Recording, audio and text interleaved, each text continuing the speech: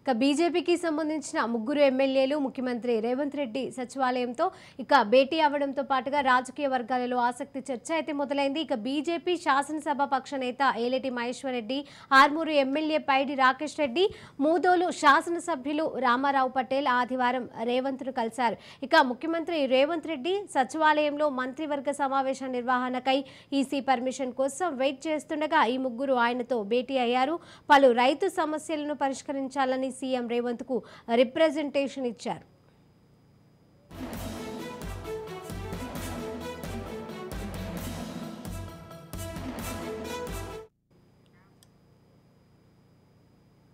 పైకి ముగ్గురు ఎమ్మెల్యేలు సీఎం రేవంత్ రెడ్డిని రైతు సమస్యల పరిష్కారం కోసం కలిసినట్టు ప్రచారం జరిగితే జరుగుతున్నది. ఇక అంతర్గతంగా మాత్రం రాజకీయ వర్గాలలో మరో రకమైన డిస్కషన్ నడుస్తోంది. ఇక బీజేపీకి సంబంధించిన ఈ ముగ్గురు ఎమ్మెల్యేలకు గతంతో పోలిస్తే ఇక కాంగ్రెస్ అవినాభావ సంబంధం ఉంది. బీజేపీ శాసనసభ నేతగా ఉన్న ఏలేటి మహేశ్వర్ రెడ్డి ఎన్నికలకు ఆరు నెలల ముందు కాంగ్రెస్ నుంచి బీజేపీ పార్టీలో జాయిన్ అయి నిర్మల్ నుంచి ఎమ్మెల్యేగా గెలుపొందారు. అందువల్ల ఆయన ఇప్పటికీ కాంగ్రెస్ ప్రభుత్వంలోని కీలకమైన వ్యక్తులతో కూడా నిరంతరం టచ్లో ఉంటారనే ప్రచారం అయితే ఉంది. ఇక మరో ఎమ్మెల్యే రామారావు పటేల్కు కూడా ఇదే నేపథ్యం ఉంది. ఇక ఆర్మూర్ ఎమ్మెల్యే పైడి రాకేష్ రెడ్డి గతంలో రాజకీయంగా అంతగా యాక్టివ్గా లేని వ్యక్తి. కానీ ముఖ్యమంత్రి రేవంత్ రెడ్డి విషయంలో మాత్రం ఆయన ఎప్పుడూ నెగిటివ్గా స్పందించిన సందర్భాలు లేవు.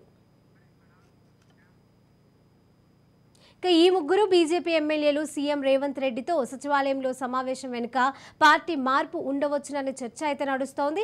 వాస్తవానికి రైతు సమస్యలపైన గనుక ముఖ్యమంత్రి రేవంత్ రెడ్డికి బీజేపీ తరఫున వినతి పత్రాలను అందించాలనుకుంటే ఆ పార్టీ శాసనసభ పక్షం హోదాలో ఉన్న ఏలేటి మహేశ్వర్ రెడ్డి పార్టీలోని మిగతా ఎమ్మెల్యేలు అందరికీ సమాచారం ఇవ్వాల్సిందే. ఇక అలా కాదనుకుంటే రాష్ట్ర అధ్యక్షుడు కిషన్ రెడ్డి ముఖ్యమంత్రి రేవంత్ రెడ్డికి ఓ బహిరంగ లేఖ రాసినా సరిపోయేది. కానీ ఇక్కడ అలా జరగలేదు.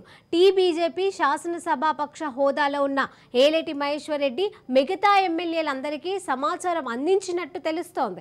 అందువల్లే ఈ ముగ్గురు ఎమ్మెల్యేలు రేవంత్ రెడ్డిని కలవడం వెనుక పార్టీ మార్పే మెయిన్ రీజన్ అయి ఉంటుందనే డిస్కషన్ అయితే జరుగుతోంది. ఇక దీనికి సంబంధించి మరిన్ని అప్డేట్స్ మా ప్రతినిధి స్వప్న అందజేస్తారు. స్వప్న? యా. మొత్తానికి ఎలక్షన్స్ తర్వాత పార్టీలో ఉన్నటువంటి కీలక నేతలు మార్పులు చేర్పులు ఉంటాయి.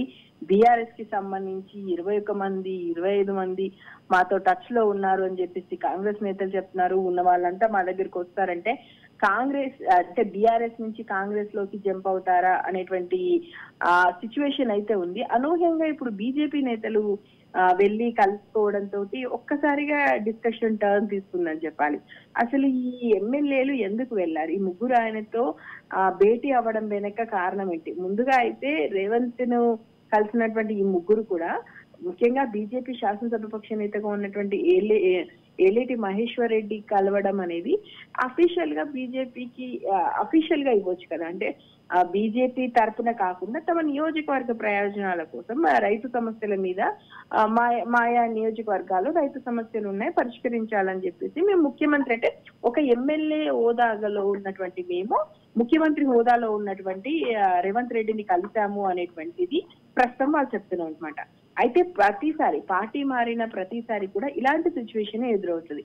అంటే గ- మిగతా పార్టీలో ఉన్నటువంటి కీలక నేతల్ని కలిసినప్పుడు ఎందుకు కలిసారంటే తమ నియోజకవర్గ ప్రయోజనాల కోసం అనడం కొన్ని రోజుల తర్వాత పార్టీ మారడం ఆ పార్టీ కండువా కప్పుకోవడం అనేది కొంత ఆనవాయితీగా వస్తుంది. దాంతో అసలు ఈ ముగ్గురు ఈ టైంలో వెళ్ళాల్సినటువంటి అవసరం ఏమొచ్చింది? ముఖ్యంగా బీజేపీకి సంబంధించి అయితే ఎంపీ ఎలక్షన్స్లో మంచి స్వింగ్ కనిపించింది. చాలా మటుకు మేమే నియోజకవర్గాలు గెలవబోతున్నాము. అండ్ ఏలిటి మహేశ్వర్ రెడ్డి కూడా మాతో టచ్లో ఉన్నారు. బీజేపీతో పెట్టుకుంటే కాంగ్రెస్ అవుతుంది అనేటువంటి మాటలు వ్యాఖ్యానాలు చేసినటువంటి వ్యక్తులు ఇప్పుడు అనూహ్యంగా కలవడంతో ఇటు బీజేపీలోను అటు కాంగ్రెస్ లోను చర్చ మొదలైంది. ఇంతకు వీళ్ళు కలవడం వెనక పార్టీ మారే ఉద్దేశం ఏదైనా ఉందా? లేదంటే నిజంగానే ఇది క్యాజువల్ భేటీగా అనుకోవచ్చు. అయితే ఇది క్యాజువల్ భేటీ అయినప్పుడు బీజేపీ తరఫున అంటే ఈవెన్ బీజేపీ రాష్ట్ర అధ్యక్షుడిగా కిషన్ రెడ్డి ఉన్నారు.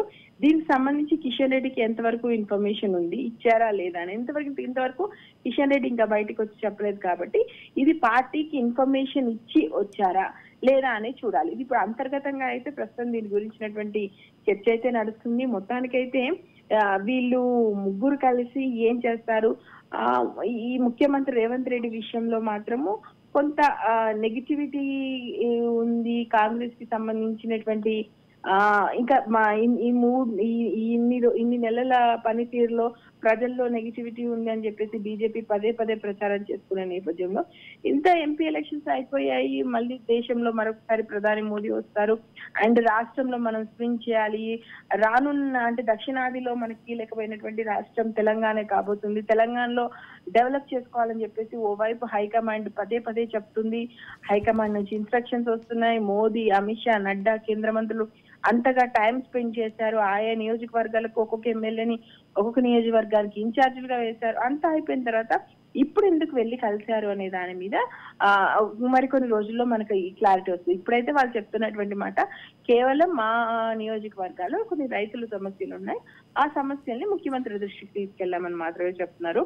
అయితే ప్రతిసారి పార్టీ మార్పులు చేర్పులు ఉన్నటువంటి సందర్భంలో సేమ్ సీన్ రిపీట్ అవుతుంటుంది కాబట్టి వీళ్ళు ఏంటి? నిజంగానే ఏమైనా పార్టీ వీరేటువంటి ఉద్దేశం వీళ్ళకి ఏమైనా ఉందా?